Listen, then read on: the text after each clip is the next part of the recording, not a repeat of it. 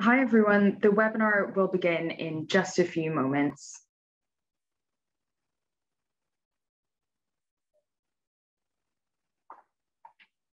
Hello everyone and welcome to today's research roundtable on epilepsy and memory. This has been without doubt our most frequently frequently requested webinar topic and something that our webinar panelists often get asked about in the Q&A sections. We've got a brilliant lineup of speakers today. We're firstly going to hear from Epilepsy Research UK supporter Faustine, who lives with epilepsy, followed by researchers and clinicians, Professor Arjun Sen and Professor Amanda Wood, who both work in this area. All of today's speakers have contributed to our research blog this month. So if you're interested in hearing more, we'll be sharing the link to the research blog in the chat later on in the webinar. So firstly, earlier this week, we caught up with Faustine. Faustine is a university student and Epilepsy Research UK supporter, and her seizures began when she was 15 years old. Hi, Faustine. Thank you so much for, for joining us today. Um, so first of all, how did you find out you, you had epilepsy? So I started having seizures when I was around 15, so I was in year 10. Um, at first I just thought I was really clumsy because naturally I was quite a clumsy person anyway. But it was kind of when I started having shock like feelings in both of my arms and my upper body um, and was dropping things quite frequently that I thought something wasn't quite right. Um, and then a couple of months after I had my first tonic clonic seizure at school. And that's when we realized that something was definitely not right and I went to hospital. Wow, that must have been um, quite quite frustrating to be um, thinking you were dropping things and not not knowing why, and then and then so so frightening to have that tonic clonic seizure. Yeah, definitely. I'd never really had any health issues before, apart from kind of your usual asthma, eczema.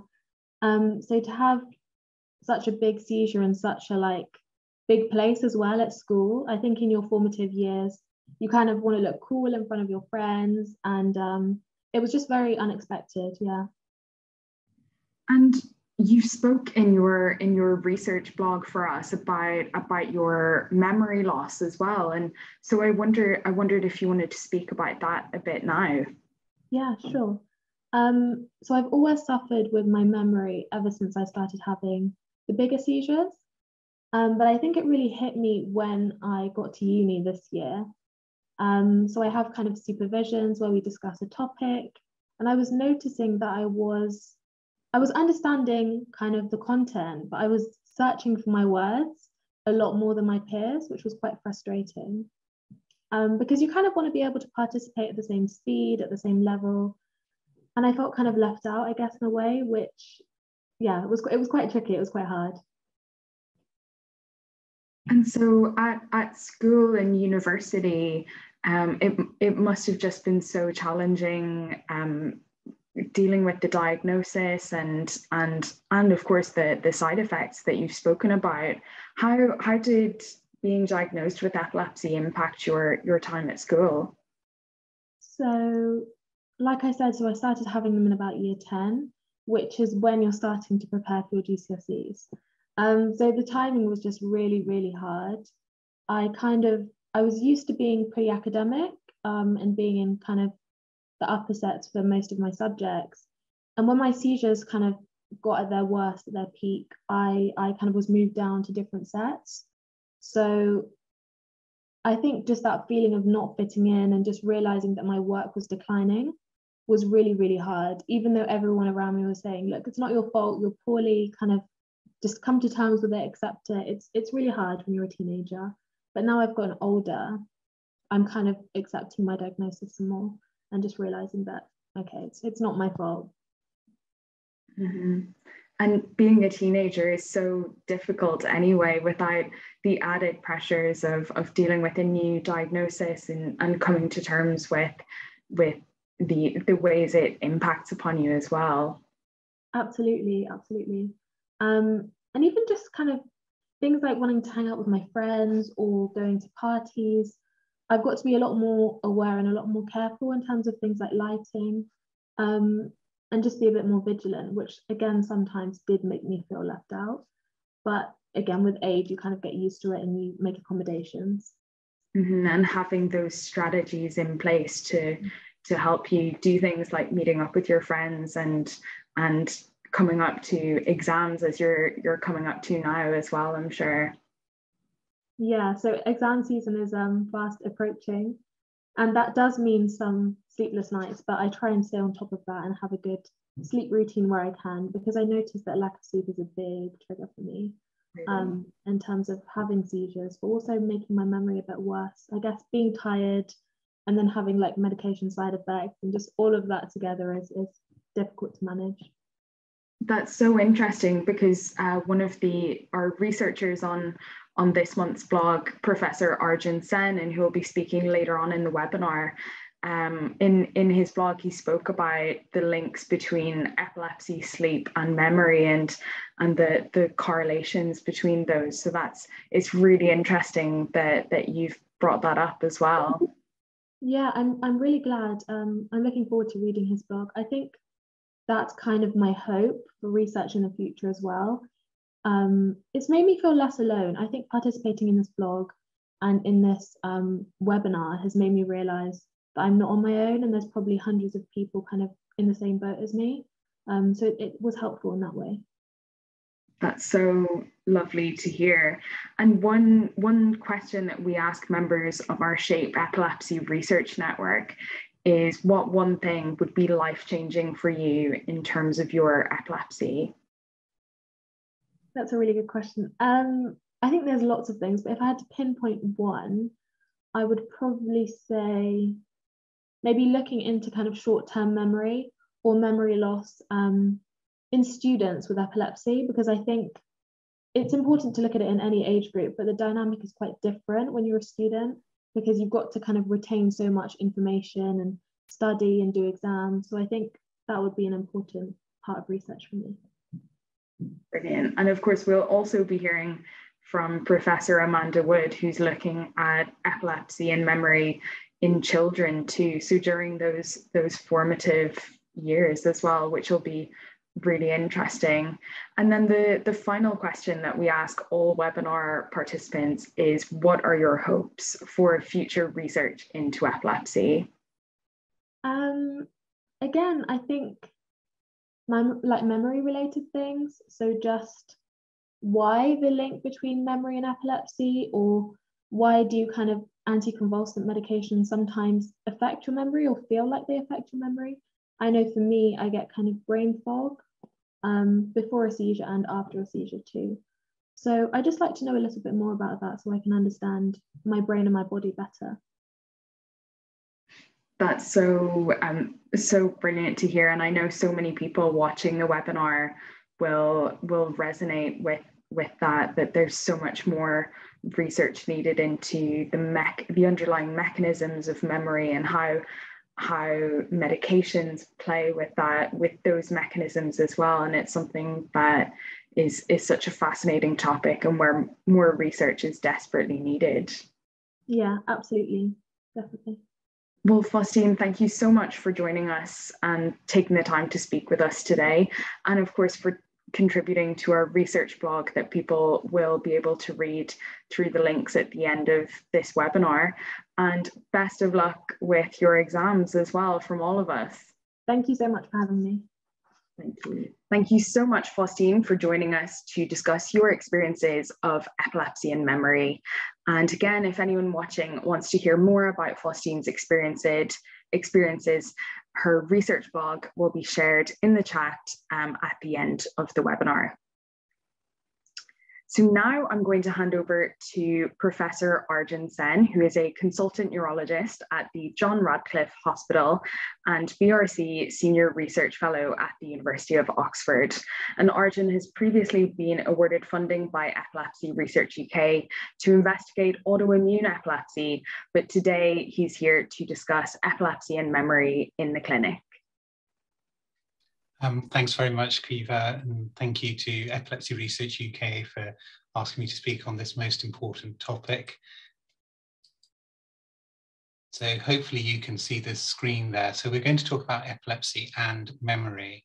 And say at the start that it's important we remember that epilepsy is the archetypal disorder of cortical networks. So this is a paper from some time ago just showing that if seizures start in one part of the brain, then many other parts of the brain can be activated and involved as well. And that will be important as we go through this brief presentation. This is perhaps demonstrating cortical networks in a more dynamic way. So hopefully this is all of you, all of us, um, with the cogs whirring appropriately and the information being registered and then they're able to recall that information appropriately. And what happens in seizures is the cogs slightly misalign. So this is perhaps a demonstration of a focal seizure. And so the cogs don't quite match up. And you can see how that might lead to abnormal cortical discharges, which can lead to the seizures, but that may also contribute somewhat to memory impairment. And remembering that this is a disorder of cortical networks, it may not just be one cog that misaligns. There may be other cogs that aren't quite operating correctly, again, contributing to the impairments that we may see. So the causes of memory impairment within people who have epilepsy can be quite diverse. And this was summarized and broken down in a paper now just over 10 years ago, where you can look at the nature of the underlying pathology, what actually underlies the seizures, whether that's on the right side of the brain or the left side of the brain, whether the age at seizure onset and the impact that that may have had on education may also contribute to memory uh, and memory difficulties in the clinic in later life. Then there are variable factors such as medications. We're not going to talk about medications too much within this presentation. And whereas it's definitely the case that certain anti-seizure medications in some people can have an adverse impact on memory, there are other things that can contribute also, but it's something to definitely bear in mind whether there are subclinical seizures, whether that's contributing, whether you actually have full control of the epilepsy, and whether that could be improved. It's also fundamentally important to remember about comorbidities in epilepsy. So memory difficulties are certainly a comorbidity, but likewise mood can be a very significant comorbidity in people who have seizures. And if that can be improved, then so too can memory and potentially seizure control as well. We heard from Faustine earlier how sleep and, and the quality of sleep can impact upon her memory. So again, that's something easier said than done, but at least something that we can look to try and improve, to try and again improve both seizure control and memory. Then there's the condition itself. So status epilepticus and bouts of status epilepticus can certainly impair memory, and we should do all we can to try and control those. Likewise, repeated generalized seizures or seizures that result in head injury can again set up different cogs that might not quite work correctly, again contributing to memory impairment. And something that's been looked at more and more is the contribution of dementia, so Alzheimer's disease, for example, to memory, and whether there are bidirectional relationships between seizures and other conditions. And so looking at that a bit more closely, well, we said at the start that epilepsy is the archetypal disorder of cortical networks. Well, neurodegenerative disorders can also target neuronal networks, so they don't necessarily affect just one part of the brain. This is again graphically illustrated in this functional magnetic resonance imaging study. And might these conditions then coexist slightly more closely than we thought? Well, seizures are very common in people who have Alzheimer's disease. So one in nine people with Alzheimer's disease will have a seizure. And Alzheimer's disease itself is obviously a very common condition. And as populations age, it is only going to become more and more common. So if we start to put those things together a little bit, well, we know from work that's been done several years ago now, um, and this is work in, in high income settings, that the incidence of epilepsy does increase with age. And there's an inflection point at about the age of 55. And in later life, the incidence of epilepsy is at its highest, much higher than it is in early life. We know that Alzheimer's disease is more common in later life, but if we look at Alzheimer's disease specifically and the risk of seizures, well, if you have Alzheimer's disease and you're 80, then you're three times more likely to have seizures than someone who does not have Alzheimer's disease and is 80. But if you, you're in your 50s, remember the inflection point for seizures was at about 55. If you're in your 50s and you have Alzheimer's disease, so more, most likely a familial Alzheimer's disease, then you're nearly 90 times more likely, nearly 90 times more likely to have seizures than someone who is 50 who does not have Alzheimer's disease. And this and lots of other work um, that has been looked at suggests that there is a close intersection between epilepsy and Alzheimer's disease. And the incidence of epilepsy and Alzheimer's disease is likely very underestimated because people don't recognize the events as seizures. People with Alzheimer's disease might be less able to report the seizures. Often an EEG is not performed. And the more progressive the Alzheimer's disease, the more common the seizures are. Slightly prophetically, Epilepsy Research UK, prior to new logos and branding, recognized this in 2013, but they said that 10 to 22% of people with Alzheimer's disease may develop unprovoked seizures at some point.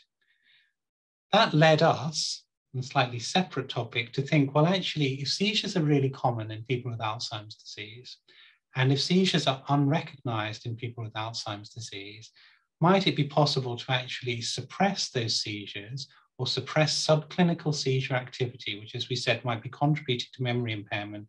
And actually, could that lead to a cognitive improvement in people with Alzheimer's disease who have not necessarily had an overt seizure? This might be a separate webinar, but that led to this clinical trial, um, which we initiated in Oxford to recruit people with Alzheimer's disease who've not had seizures to see whether levetiracetam might offer some cognitive benefit rather than it just being used as seizure control. So why am I saying all of this? And where and how does this interrelate to people with epilepsy who don't have dementia or any of these other neurodegenerative conditions? Well, there are lots of intersections, and there's another intersection with vascular disease. So epilepsy intersects with Alzheimer's disease and Alzheimer's disease pathology. And epilepsy can intersect with vascular disease, so hypercholesterolemia and so on and so forth. And there's an intersection independently between vascular disease and Alzheimer's pathology. And where does that take us? Well, then we can start to look slightly differently through a different lens at late onset epilepsy. So late onset epilepsy, people who develop epilepsy after the age of 55, and there's not an underlying cause, um, or an underlying cause isn't immediately apparent, can be stratified and we can look to try and determine what drives that. And this is an analysis that was done by Michelle Romoli, who's specified here, looking at all of the papers looking at late onset epilepsy and trying to identify was there a cause found. And in that, you find that the most common cause is stroke, and that happens at about the age of 60. Dementia is quite common, that happens a bit later, maybe about 67 or so. But all of these other things are also risk factors for late onset epilepsy. So vascular risk factors and exercise can be protective. And why does that matter? Well, that influences our um, trajectories of cognitive decline. And that brings us back to what we were talking about at the start of how seizures and epilepsy might intersect with memory. So this was a theory that was put forward in 2009. This when I was doing my PhD. I remember when the paper came out that we were very disappointed because it didn't fit at all with what we thought the correct, correct in inverted commas, model of cognitive decline in people with epilepsy was. But what that paper suggested, and it was based from neuropsychometric data done in great detail, and it suggested that, well, we all decline. We all have decline in our memory as we get older. And at some stage, we will cross a threshold for functional impairment. And what happens in people with epilepsy is that there's an initial hit, but then decline is parallel to that slope. So you cross the threshold for functional impairment somewhat earlier, but there's no other additional impact on your memory as you go through the rest of life course. It took us some time, but in the same journal, about nine years later, we published this model, suggesting that that earlier model was perhaps not quite what was experienced, what was the lived experience of people with epilepsy. So we said, okay, people without seizures, all of us, there is a, a rate of decline there can be an initial hit, and then sometimes the decline might parallel what we see in the normal population. But more often, the trajectories are different and very individualized. So you might have an initial hit and you don't get back to that same point, but then there are impacts from further seizures or status epilepticus, for example, or potentially medication. Or you might get back to this point and then you have a second hit. So for example, seizure results in a head injury. And then again, there's a, a modulation in the trajectory of cognitive decline. And how do we then bring all of that together? So our most more recent work has been looking at this kind of model. So this again is people who don't have epilepsy, all of us decline as we, uh, with aging, everyone, there is some impairment of memory. People with mild cognitive impairment, which can be a precursor of Alzheimer's disease, generally project on the same trajectory as people who don't have cognitive decline and then begin to diverge in later life. And then if there's Alzheimer's disease, for example, that divergence might become more profound. In people with uh, late onset temporal lobe epilepsy, so there, the set point seems a little bit, just a little bit lower than people who don't have uh, any uh, seizures or cognitive decline. But then when the seizures start, then you notice really quite a divergence from people who have mild cognitive impairment. And importantly, work from others has shown that this set point is lower than people who have just mild cognitive impairment. If you have early onset epilepsy, and we put here temporal lobe epilepsy, then the seizures are starting much earlier, and then you can progress down that complex trajectory that we mentioned, where seizures, medication, potentially status epilepticus, lots of things can impact on memory. So the reason that's important is we can do something about it. And particularly what we can do is something about seizures that are perhaps starting later in life, but a lot of what I'm going to say might apply in earlier life as well. And what we're looking to do is move this curve.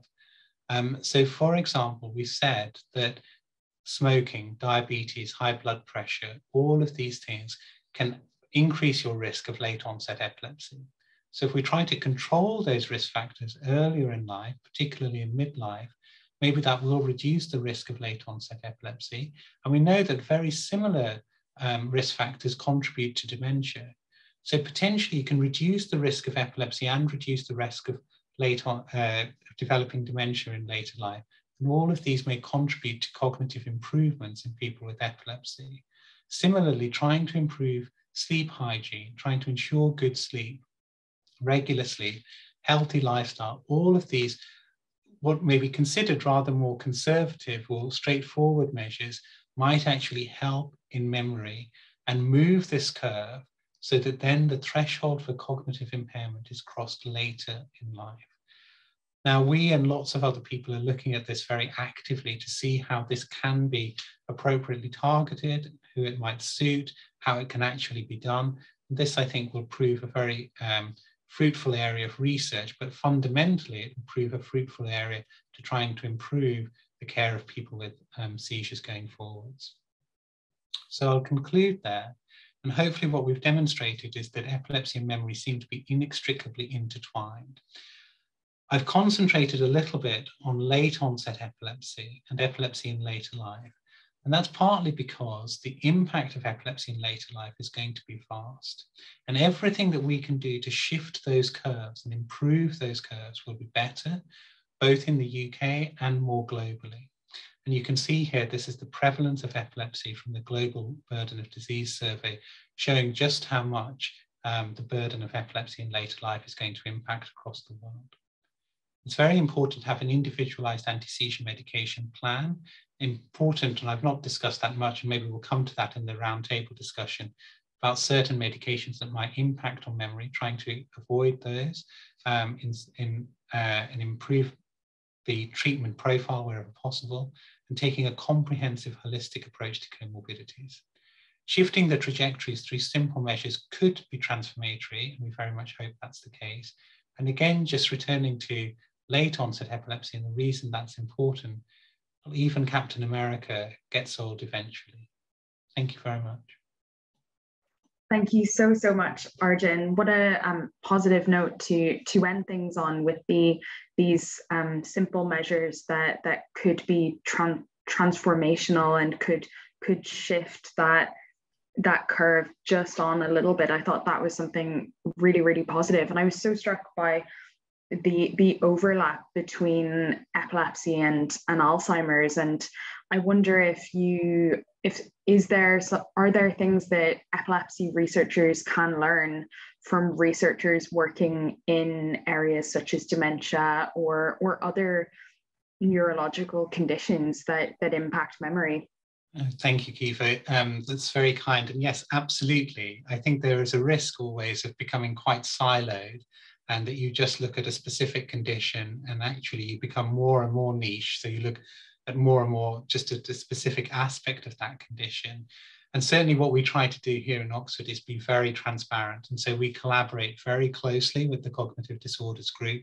And a lot of the work that I'm showing, the trials, for example, are all coming with collaboration with the people who are dementia specialists, both here and not, not even just cognitive neurologists. So dementia is seen a lot by old age psychiatrists. So we collaborate very closely with them as well. And I think that, yes, we can learn a lot certainly from those groups. Hopefully, they can also learn a lot from us because, as we mentioned, seizures are very under recognized in people with Alzheimer's disease. And if you're not used to asking an epilepsy history, if you're not used to going through things that might be seizures, then that could be overlooked. And yet, potentially, it's really treatable because if we say, okay, someone with Alzheimer's disease who may be having additional focal impaired awareness seizures, and you control those, for example, amnestic wandering is thought to be uh, likely ictal, and it's likely to have an ictal wow. basis, then you could potentially treat that and actually significantly improve cognitive life.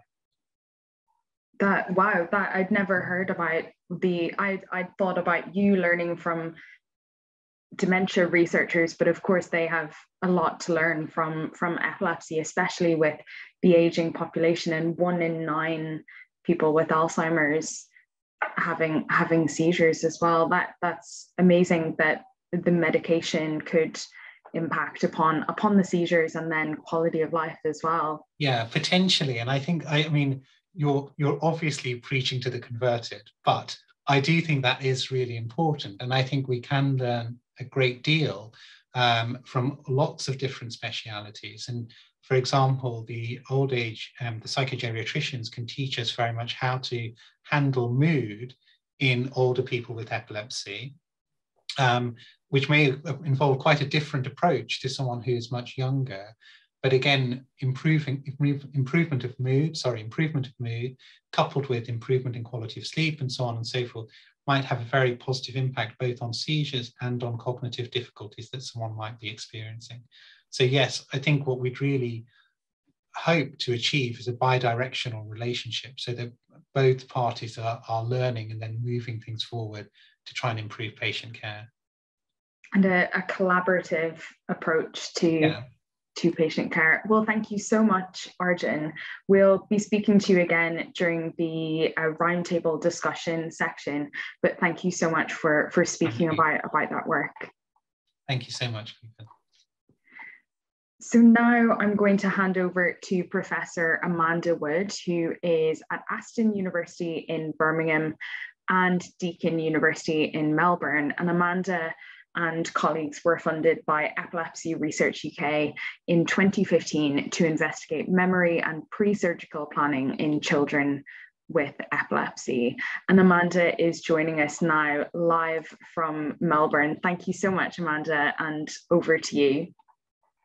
Thank you so much, Quiver. And um, again, like Arjun, thanks to Epilepsy Research UK for inviting me um, to come and speak. So that's brilliant.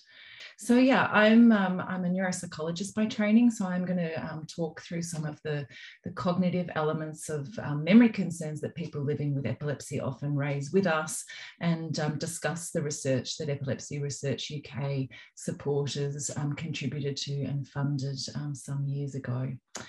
So we often hear in clinic um, and in daily life um, people saying that my memory is terrible.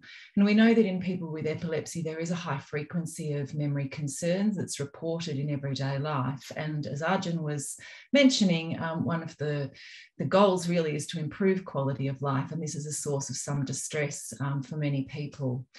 And when we think about memory, what people often um, are concerned about is a degree of forgetfulness. So, forgetting items on a shopping list, something that you've just said to them. Sometimes it's words um, that they can't remember whilst they're speaking. I might do that, I might do it quite often, um, or even activities in recent hours or days. And so, all of those um, memory complaints, if you like, um, reflect um, the experience of being forgetful, but from a cognitive perspective, in fact, reflect a range of very specific domains of function that may or may not be um, memory per se. And so I hope to talk you through what we mean by that.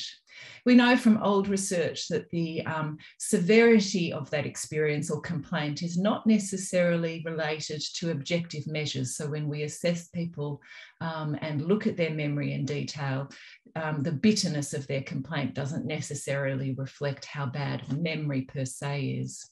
And what we know from a cognitive perspective is that um, our abilities, um, and if, if we look at memory up here, actually link into each other. So my memory function relates to my language processing, um, and that rests on my ability to pay attention to things. And as Arjun just nicely outlined um, in the previous presentation, this is also based on the idea that the brain is a cortical network. Um, and so those networks or cogs working together are what gives rise to successful memories. And um, when one cog goes wrong, one different part of the brain perhaps isn't functioning in the way um, that it typically would, then we can experience forgetfulness. But the cognitive basis of that might be a language problem a primary memory problem or in, indeed an attentional difficulty. And it's really important for us when we're walking, when we're working rather with people living with epilepsy that we understand the specific nature because that allows us to provide strategies and hopefully treatments in the future as Arjun was um, outlining earlier. So even within the cognitive domain of memory, there's a degree of complexity. And I, I, certainly won't go through this in great detail, but when we think about examining memory um, in clinic, but also when we're using brain mapping techniques, we need to be cognizant of the different components of learning. So we need to take information in, we need to be able to withhold that in the face of new information coming in, and we need to be able to store it over time. So that ability to encode, consolidate, and retrieve is very um, well established in, in a broad sense in the memory literature, and that can involve different parts of your brain. So when we think about examining memory, um, in a surgical setting, we need to consider which areas we might examine there. So the um, if epilepsy is the archetypal cortical network disorder, this case of HM is the archetypal um, case that actually explained to the international community what happens when we um, surgically treat seizures successfully. But in the very early days of epilepsy surgery, it was unclear what some of the impacts would be. So HM is a case that's taught in cognitive neurology, in psychology all over the world. And essentially, um, HM um, was in a Canadian case and had both hippocampi or bilateral mesial temporal lobes removed. And that did reduce the frequency of his poorly controlled seizures. But an unexpected outcome was that he was no longer able to form most new memories. And he taught us that we need both hippocampi in terms in, in order to remember new information.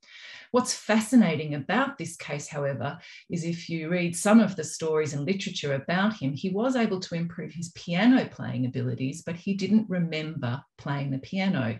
So that tells us um, that the hippocampi are not important for procedural learning, but are important for episodic memories. Um, and so um, we've learned a huge amount um, about cortical memory systems from cases like this.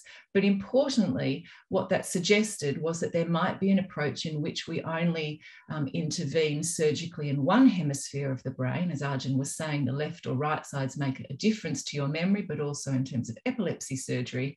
And so that's the way in which um, those people with uh, poorly controlled seizures and temporal lobe epilepsy who are eligible for surgery uh, are now managed. So avoiding that um, global amnesia that HM experience by performing a unilateral one-sided temporal lobectomy. So there's been a range of research since then, um, which is really heralded by the cautionary note of the case of HM, which is to prevent memory loss after surgery. And in recent years, um, internationally, there's been a huge effort to use brain mapping techniques. Arjun again mentioned functional magnetic resonance imaging, and that's one we'll talk about a little bit now. Um, and one of the previous chairs of Epilepsy Research UK Scientific Advisory Committee, Mark Richardson, has published an awful lot of the very early work in adults and showed that in fact we can successfully use brain mapping techniques such as fMRI um, to identify activation in that left mesial temporal lobe, if we're particularly interested in memory for verbal information, and that that is a useful predictor of the status of memory after surgery, which is a very powerful technique for us to be able to use clinically. The work from that group also, however, highlighted that sometimes you can see activation in that right or contralateral um, hippocampus or mesial temporal lobe.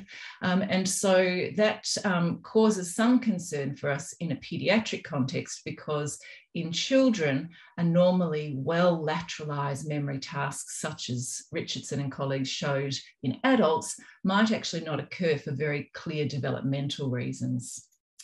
So we know from a range of other research um, that children's brain development continues across the course of childhood, and there's a refinement of cortical brain structure. And concomitant with that is a, a maturation, if you like, of functional skills or cognitive skills and behaviours, as well as a range of other functions. Uh, and so, with that in mind, um, we feel that it, or felt that it was very important that we understood whether the known structural changes in the brain actually were associated with representation of function um, that was different in children and adults. And so there um, is some data that examines um, what happens uh, to children's cognition after surgery. So um, a, a, relatively recent systematic review um, by Flint and colleagues has examined this and looked at a range of different cortical domains. Um, but in the in the area of memory, what they found was that memory was often reported in those um, existing research studies in about 20% of studies. So not everybody has um, documented memory outcomes. Um, and on the whole, memory functions after surgery in children um, either improve or remain stable, which is a very positive sign, which is why surgery can be considered um, uh, to, to sort of uh, help with seizures. But um, about a quarter of children do exhibit a deterioration of memory, and it's very important for a range of reasons that we try to understand not only why that occurs, but which children might be most at risk um, in part so that we can um, support families to make well informed decisions, but also in order that we provide support and strategies to children as they um, continue their educational journeys. Um, and so there is um, some data also about models of memory. So um, Arjun and I are sort of uh, tapping into similar sorts of uh, concepts. And we know um, that in general, uh, it's important to think about the fact that after surgery, verbal memory does appear to be a bit susceptible, but then continues um, to pick it pick up um, in terms of abilities. So the question in children in particular is, are those um, deteriorations uh, permanent um, or can they be modified or do they naturally um, improve over time? And, and that's an area of research that I think is really fascinating given the discussion that Arjun's had in the older population just now. So um, that led us to start thinking about trying to um, perform brain mapping of memory prior to surgery in children. And um, if you can imagine being popped down a very small tube um, with a helmet over your head and told not to move for 45 minutes, most adults don't like that. So there are some specific challenges in children to doing this kind of research, but we came at this with a little bit of experience. And so we were really interested in trying to establish a functional mapping paradigm of memory that was relevant to children and took into account the differences in their cognitive development as opposed to the adult work that had been done before. And we particularly wanted to test the idea um, that children um, who that show less lateralized activity, so it's more like that second paper from Richardson and colleagues, where there's left and right-sided um, mesial temporal activation, um, than adults in a task that is normally very well lateralized to the left in um, adults. So um, we know we wanted to do that because we know that the representation of language uh, increases to the left hemisphere of the brain across childhood. And we and others internationally have shown that with functional MRI. And that has some implications for the way in which we interpret findings in the memory domain. So we were very successful and very lucky um, to receive some pilot grant funding, as Caoimhe mentioned, back in 2015. And Professor Stefano Seri and Dr. Elaine Foley and myself um, joined in a collaboration. I wasn't an Aston at the time, but that's why I joined in part um, later on. And um, we've recently published um, the initial outcomes of that data. So I'm going to just very briefly present those results and talk about next steps. So um, this is a bit of a, a, busy image on the screen, but um, the, the key issue here is that um, in the lower part of this um, image, we demonstrated successfully that using a developmentally appropriate paradigm for children that took into account their inability to read and the complexities of brain mapping in children, um, we got left-sided mesial temporal activation in adults.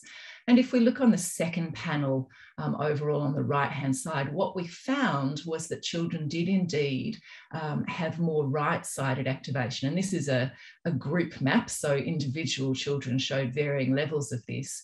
But if we look at the group overall, what we showed is that the asymmetry or the left-sided nature of activation during our mapping paradigm increased over time.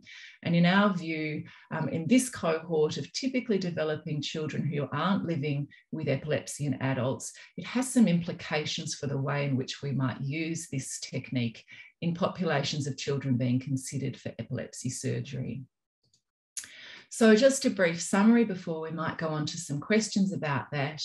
Um, it's really important uh, that when we think about developing um, non-invasive um, brain mapping techniques for children, that we do so in a developmentally appropriate way. If we provide tasks that children can't perform in a brain scanner, that activation that we do see can't be um, interpreted reliably. Um, and so assuming that adult paradigms will work is, is, is risky business essentially. Um, our ongoing research is going to further explore this. In fact, we've um, almost finished um, the, the work in children living with epilepsy who were undergoing surgery. So very excited that that's an extension from our pilot funding um, in collaboration with Birmingham Children's Hospital Epilepsy Surgery Program. And so trying to validate the initial pilot work in a, in a patient population to show that we can, we can use that and complement all of the other components of that multidisciplinary team workup prior to surgery country. Um, and really excitingly, um, the, the work that's been done in Aston, particularly in other areas of brain mapping, um, MEG and pediatric epilepsy, um, led by Professor Seri and Dr. Foley, has really transformed the way in which others around the UK and beyond are now thinking about using advanced technologies in pre-surgical mapping for children. And that's a really exciting thing as a, as a clinical researcher to, to watch um, as a result of some early results in other domains. And really importantly for the general community, um, I think I'd like to end with the idea that if we if we have concerns about being forgetful and, and we're concerned about our, memory, um, it's it's helpful to really carefully evaluate the nature of that complaint, if you like, or that concern, as that can definitely help us to guide strategies that people can use um, and hopefully, as Arjun's just alluded to, perhaps um, identify more appropriate treatments for those specific cognitive difficulties that people are experiencing so as to better support um, the, the, everyday of exper experience of people living with epilepsy. So I'll finish there. Thank you. Thank you so much, Amanda. That was so interesting and so brilliant to see that there's still impact being generated from from that pilot study way back in in 2015 and obviously you're working as a clinician and i wonder is memory something that the children that you work with come come to you often about or perhaps their their parents or carers come to you about yeah, Caoimhe, it's a great question. And it's absolutely one of the cognitive concerns that parents in particular identify. Older, uh, older adolescents may be aware that they, they struggle with forgetfulness, particularly in class, taking in lots of information if teachers are going at a pace. Um, but parents will quite often say, you know, um, they're really forgetful. I have to say things over and over. And it's really important for us to then um, take that really good cognitive history to identify is this an attentional difficulty because there are some practical behavioral everyday strategies that we might recommend a light touch on the fold, on the shoulder breaking things down into two simple commands instead of i need you to go here and get this and then do that and don't be late um, as opposed to what we might refer to as a primary memory um, impairment um, because that will help guide parents in their everyday life supporting their child as well Brilliant. Well, at this point, I'd like to bring Arjun back um, back on screen, and we'll begin the the roundtable discussion. But Arjun, I'd like to ask the the same question I've asked Amanda. You know, you're you're obviously dealing with patients at a different point um, in in their lives, and I wonder is is memory a, frequently asked asked query that that you get asked about when when you're seeing people in the clinic? Hey, thanks, Caoimhe. Um, yes, it definitely is. I think, uh, as you said at the start of the, the roundtable discussion, it's probably the symptom that people mention most. Um, and sometimes the cognitive difficulties actually cause greater adverse impact on quality of life than the seizures themselves. Um, and that might seem a bit strange, but the, the seizures are episodic, you know, that they, it happens and then, you know, hopefully the seizure will stop and there will be recovery, but then it is, it is done. Whereas the cognitive difficulties and the memory difficulties might be there all the time. And so that leads to it being very frequently mentioned. And um, we're always looking to try and highlight things that we can do. And as was alluded to, um, cognitive difficulties and memory difficulties in Amanda's talk, it's very multifaceted. You know, it's not one specific thing, and actually trying to unpick what the difficulty is and what is it that's causing the impact on the memory, I think is really important to be doing in epilepsy clinics. Of course, and um, that's really interesting. That yeah, of course, seizures are transient, whereas the memory um, memory as a worry could could be there all all the time. And um, as as Amanda was saying, it in in young children there could also be um, the knock-on effect on on learning in school. That must be something that is is quite frustrating as as a young child as well. Yeah, no, from my point, absolutely. I think that the impact on education um, can be very profound and uh, and Amanda is probably better placed to comment on it. But I think that uh, talking about epilepsy surgery, if you can get epilepsy surgery early, if you're determined to be an epilepsy surgery candidate early and the operation goes through and you can try and settle the seizures in order to be able to get back into education and really improve life chances, that again is a, is a very good cognitive outcome from an epilepsy surgery program. And mm, so I mean, that's a really yeah, that's a really interesting point, um, Arjun, I think, and, and I'm not medically trained, and so you know it's outside of my area of um, expertise, but certainly um, that notion of optimizing opportunity um, is, is really critical. And, and we know, of course, that there are critical periods in, in brain development. So early is, is often really good. And I think also to add to that, Caoimhe, you know, it, there's educational um, implications, but also occupationally, I think for, for young adults entering the workforce, the idea that actually it's very difficult sometimes to, to manage the, the symptoms of memory difficulties in between um, episodes of seizures, or even if there are medication related issues that, that occasionally occur. And so it's really important um, that people living with epilepsy are able to communicate with employers about that so that there's not an, a sense that well, you keep forgetting things. Why aren't you doing your job? Or, or questions like that. So there are some real life um, consequences that I think having a narrative and being very open about the fact that this is a well, um, well known or well established um, experience for people living with epilepsy can really help understanding and improve quality of life um, across the life course. I would echo that completely. I think that you know trying to improve understanding of epilepsy more broadly and highlighting that epilepsy does represent more than seizures, and so all of these different comorbidities and trying to enable people um, to fulfill their potential, I think is going to be key, and that's really beholden on employers to try and understand that and then put in place the strategies that will enable people to do do their, their work to the best of their potential. Yes, and you've mentioned you've both mentioned education and employment, and of course social life and building personal relationships as well. That's another important area that that could also be be impacted. And so I wonder, um, Amanda, you mentioned medication and, and Arjun, you spoke about medication.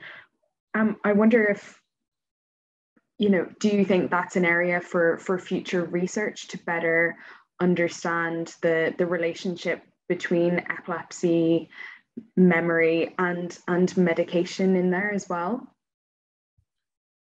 Um, sure, I can, I can go first on that perhaps. But yes, so so oftentimes um, when people come to clinic, they may say that the, the, the, there's cognitive impairment and it's attributed to the medication. But as we've illustrated, it's more complex than that. And there may be other causes to the cognitive difficulties or the memory difficulties, such as the underlying seizures themselves, how well they're controlled, what the substrate of those seizures um, is or are, and so on and so forth. There are certain medications that have a, a definite specific cognitive impact. So, for example, um, topiramate can associate with specific word finding difficulties. Valproate can associate with hyperammonemic encephalopathy, so high levels of ammonia, which can cloud cognition. Now, that not at all. That's not a reason to not use those medications as just to be mindful that those things can happen. And so if people mention those sort of specific side effects, like a, a word finding difficulty having escalated the dose of topiramate, then it may be attributable to, to topiramate.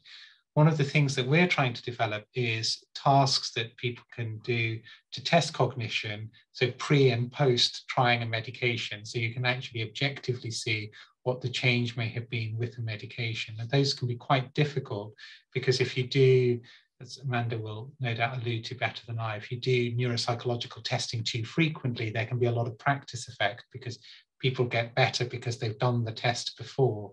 So that's what we're trying to unpick and work out how you could deliver that. I mean, that sounds really exciting. So this is um, made getting up early in the morning super, super terrific. Um, but yeah, I think uh, that's a really interesting idea that you, you might develop really sensitive um, tasks. I think historically, um, from my perspective, um, uh, as, a, as a person trained in neuropsychology, um, it would be about taking a clinical history and always referring back to treating medical team um, for, for the very reasons that we've just heard, which is um, there may be a perception that it's linked to medication, but there are many other factors that might, um, might intervene there or influence that.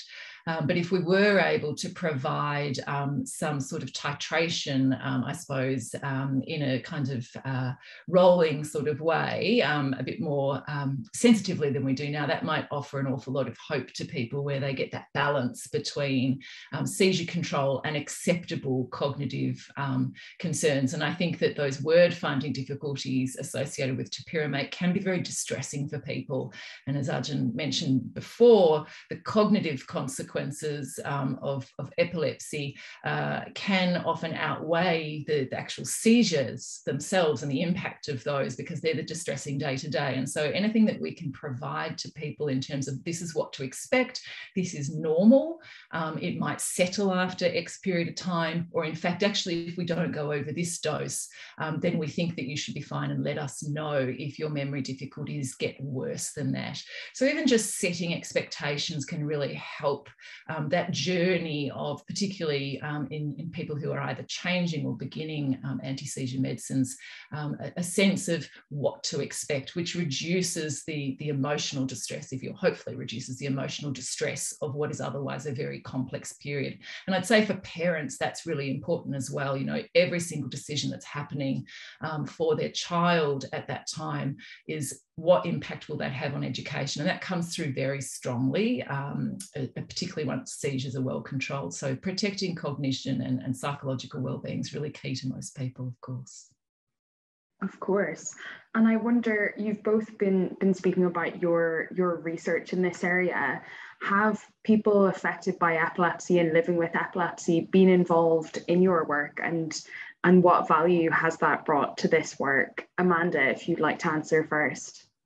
Yeah, thanks, Caoimhe. Um, it's it's a it's a really important topic. Um, perhaps not this particular work there, but in other work that um, I've been involved with, which has also been very generously funded by Epilepsy Research UK. Without the without the co-design of people living with epilepsy, we wouldn't have known the questions to ask or the way in which to ask them well. Um, it's all very well that we have ideas that we generate from our clinical experience, and that is really important, but understanding what matters to people living with epilepsy, particularly that um, horizon scanning. So, we, yeah, we we know about this now. What, what would be great to know about next has absolutely transformed not only the specific work that I do, but also the way in which I do research. And um, I, I, can think of a number of um, people around the world who will, will laugh if they ever see this, which is, you know, I always say we might not always agree on the way that we do things, but we always agree that we've got a common purpose. Um, and so the, the power of advocacy of people with lived experience is absolutely paramount to research. Um, and Epilepsy Research UK has obviously done an awful lot of work in the last year to really um, ask people what's needed in the community. Definitely. And Arjun, the same question to you. Uh, I'm not sure I can put it much better than that. the, um, so yes, I think that um, having true um, community engagement, patient public engagement is going to be key. It leads to better research and it definitely leads to better implementation of the research. Mm. So for example, if we're developing a, a task for cognition, just doing it in a rather sterile environment of a cognitive lab isn't going to translate how it could be done in clinic by someone who is taking anti-seizure medications, for example. So you need all of that input early. We're very lucky here that we have many, many people who have contributed to a wide variety of epilepsy-related projects. And in the trial, for example, so that wasn't, there's an exclusion criteria for the, the study of looking at levetiracetam in Alzheimer's disease is whether you have seizures. But there, what we did is we went to an expert panel or interested panel of people with Alzheimer's disease, and very importantly, to carers of people with Alzheimer's disease. And that again reflects that bi-directionality of how we should always involve carers of people with epilepsy, families of people with epilepsy as well, because it really did shape the whole trial, you know, the whole lot of how we did it, how it was going to work, um, when, when, which questionnaires were appropriate and so on and so forth. And so I think, yes, that input is invaluable. It's been underappreciated for many years. I think Epilepsy Research UK now is leading the vanguard of having true community engagement, um, and lots of other uh, charities and other organizations are really taking that on board and really driving it forwards. And it is going to lead to better science. Without doubt. Thank you so much, Arjun and Amanda. And if anyone watching is interested in uh, getting involved in research, we'll be sharing the details for our Shape Epilepsy Research Network in, in the chat. That's so inspiring to hear how people have been involved in in your research. We've just got time for for one final quick question, and this question we ask all of our webinar participants, and that's what are your hopes for future research into epilepsy? So, Amanda, if we go to you first. Yeah, thank you so much. Um, it's, it's such an important question. Um, I think uh, my experience of trying to get funding for research over the years that we felt, particularly in co-design with people with epilepsy, is important, but might not have been um, amenable to major funders at the time, is really that we have parity of funding. Epilepsy is a very prevalent condition, um, and it doesn't receive um, the, the funding uh, of other conditions and epilepsy research UK has done an enormous lot to really leverage people like ourselves um, towards those other grants. So parity of funding is really important. I know that's not quite the question that you ask, but it is critical um, if we're to advance our ideas and our science and our clinical practice.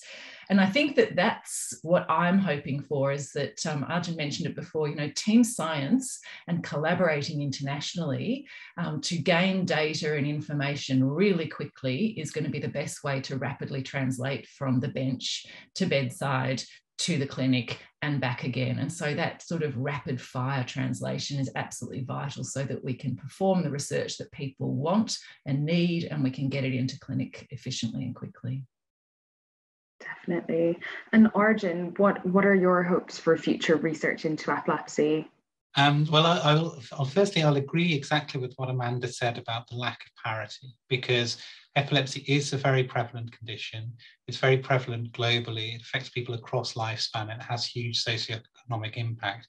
Yet it is still massively underfunded compared to other conditions that are relatively niche, for example. And I think in terms of and then in terms of future hopes, and perhaps specifically related to what we're talking about today, is I hope that there is more uh, transparent working with people from other disciplines across sort of mind and brain health, which is phrase that we're using a lot here now. Um, so to try and ensure that there is good involvement from psychiatrists, cognitive neurologists, neuropsychologists, as well as everyone else who can look to improve memory.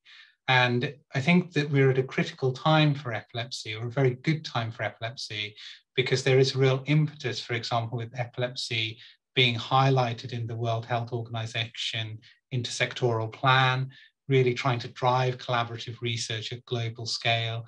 And all of these things that we're mentioning today, you know, um, and Caoimhe knows this, we do a lot of work in global health and global epilepsy. So epilepsy is very overrepresented in um, underprivileged settings, but relatively simple things might make a very, very big difference. So hopefully we can try and translate some of the research globally and try and improve the care for all people with epilepsy.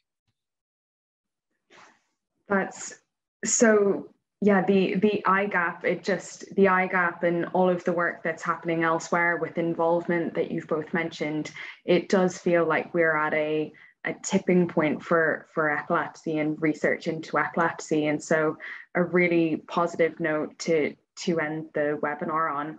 Thank you so much, Amanda and Arjun, for, for joining us today to speak about, about your research. And thank you to Faustine, who, who joined us earlier in the week. Um, if any of you watching are interested in hearing more from our speakers today, they have all contributed to our research blog, and we'll be sharing the link to that in the chat below. We also have another blog this month from Dr. Frances Wiseman at UCL um, about untangling the relationship between Down syndrome, dementia, and seizures. Um, and that was published on World Down Syndrome Day. And so, if you're watching and you're feeling inspired by any of the research you've heard about today, the iconic Ride London bike ride returns this year on Sunday, the 29th of May, the last day of National Epilepsy Week. You can make a really big difference and ride for research with Epilepsy Research UK. We have guaranteed places available, meaning you'll be one of the first to take on the brand new route, which starts in Essex and finishes off in London while supporting vital research. And so for more information, please see the link in chat. So a huge thank you again to our speakers today, to all of you for watching, to James and Becca behind the scenes for ensuring that the webinar has gone smoothly. And we really look forward to welcoming you to our next webinar.